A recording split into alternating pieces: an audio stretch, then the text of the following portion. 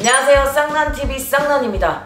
2022년을 마무리하며 쌍란이가 한라산에 오르기로 마음을 먹었습니다. 지금 제주도에 와 있는데요.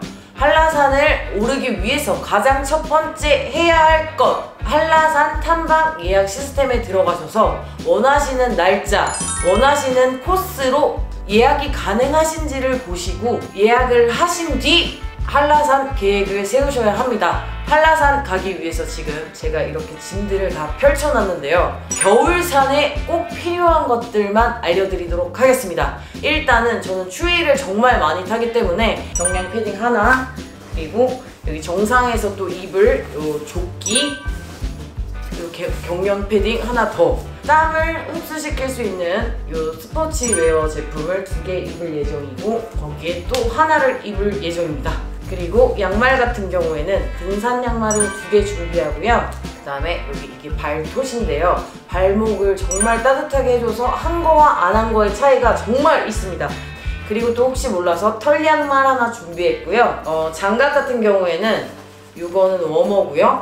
이거는 이렇게 장갑 낄 수 있는 거. 그리고 정상에서 낄 벙어리 장갑 그리고 한라산 같은 경우에는 거의 한 10시간을 산행하기 때문에 무릎 보호대가 필수입니다.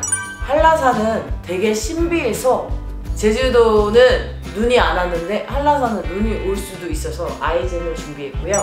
그리고 그리고 겨울 모자 여기 발에 붙이는 핫팩인데요. 겨울산은 정말 강추합니다. 그리고 이거는 먹을 식량이고요.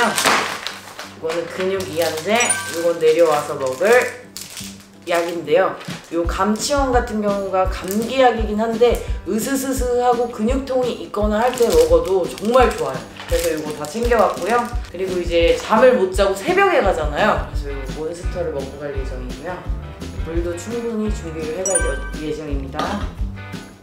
스틱. 그리고 지금 제 가방 안에 모든 게 다 들어갑니다. 그리고 이거는 등산을 할 때 사용할 목 워머인데요.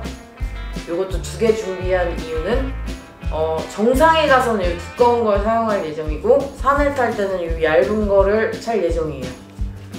그리고 등산화 이렇게 이제 한라산을 갈 예정입니다. 무사히 쌍난이가 한라산을 잘 탈 수 있을지 함께 가시죠!